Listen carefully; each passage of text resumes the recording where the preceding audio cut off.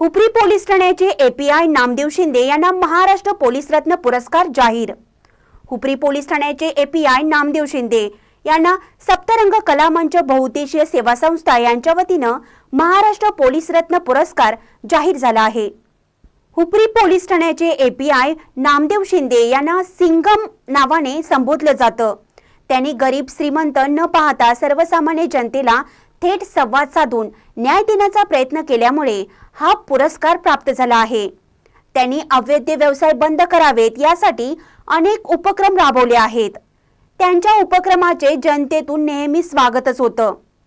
आमचे प्रतिनिधी दत्तात्रय कदम यांनी एपीआय नामदेव शिंदे यांच्याशी बातचीत केली आहे. पाहूया काय म्हणतात ते एपीआय नामदेव शिंदे.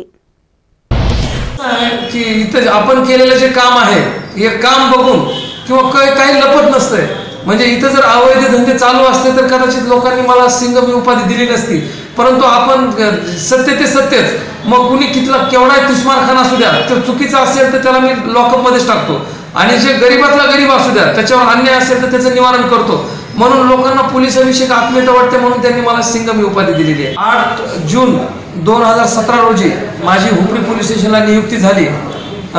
जून दोन हजार सतरा पूर्वीचं हुपरी आणि आताचं हुपरी याच्यामध्ये बराच फरक पडलेला आहे. ज्यावेळी मी आलो त्यावेळी आम्ही पहिल्याच महिन्यामध्ये एक हजार डिजिटल फ्लेक्स आणि बॅनर्स सगळे काढून घेतले होते. त्यानंतर एकतीस डिसेंबरला दारू नको दूध प्या हा उपक्रम राबविला होता. परत ज्येष्ठ नागरिकांसाठी आम्ही इथं योगा हे सुरू करून ज्येष्ठ नागरिकांचा संघ स्थापन करून त्यांच्या अडीअडचणी जाणून घेतलेल्या आहेत. परत आम्ही माणुसकीची भिंत इथं हे करून गोरगरिबांना आम्ही कपडे चप्पल जे काही गरजूच्या वस्तू वाटप केलेल्या आहेत. तसंच निराधार लोकांच्या इथं काही दीडशे महिला होत्या. त्यांची पेन्शन बंद केली होती. तर त्यांचे त्या पेन्शनचं बी काम आम्ही इथं स्वतः नायब तहसीलदार मॅडमला बोलून ते पण काम केलं होतं आम्ही.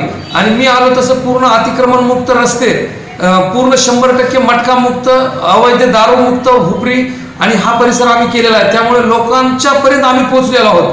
यापूर्वी पोलिसावर लोकांनी विश्वास नसल्यामुळे लोक काय करायचे? नेत्यांकडे जायचे.